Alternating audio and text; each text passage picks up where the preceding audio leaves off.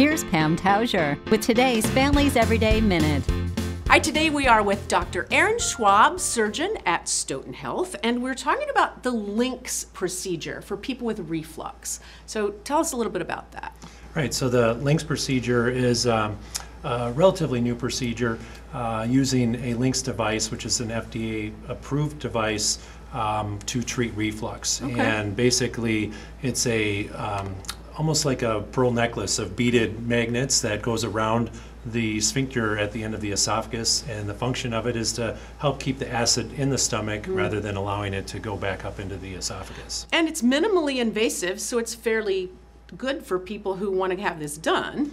Right, so it, it is done laparoscopically as a day surgery, so patients typically go home the same day.